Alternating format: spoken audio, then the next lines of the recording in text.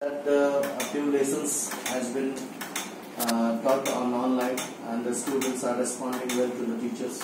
Almost all the classes from LKG to uh, 12th standard, the teacher students are connected.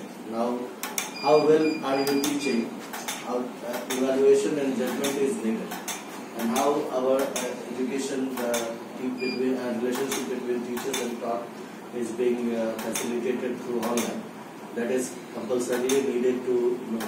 So what I suggest, uh, Mr. EDP coordinator and school coordinator, that we should plan a schedule that should test the students as to how efficiently we are teaching and our uh, our academics uh, uh, flowing in society and whether the students are getting benefit out of it or not.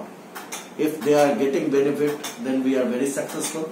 If we are not getting the benefit, then where we need to update, up to date ourselves so that uh, the DAV Sasaram's name should be one of the best in at least Bihar vicinity. And so far we have got the feedback from the parents that we are doing better than all other uh, public school, even CBSE vicinity, DA, even education department is appreciating our efforts.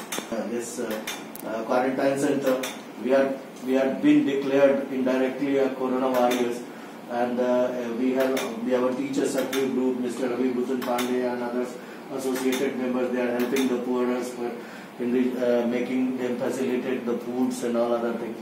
But uh, the better is that if we are controlling the education well, we are successful being a public school. And the EDP coordinator, being in, in respect to all teaching and non-teaching staff, that they are connected with and they are trying at their level best hard, even better than uh, the regular schools are running.